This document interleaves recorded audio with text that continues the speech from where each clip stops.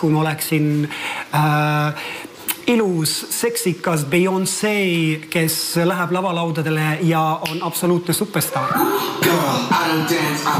ja siin need superstaarid ongi.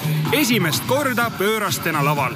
ei meie ega nad isegi pole end varem selliste tegelastena näinud.